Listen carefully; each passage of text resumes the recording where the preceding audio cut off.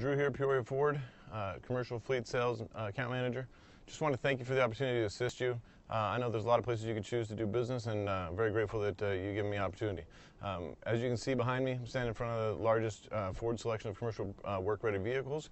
Um, so if the vehicle that you initially inquired about isn't the vehicle for you, I'm sure I've got something that'll work.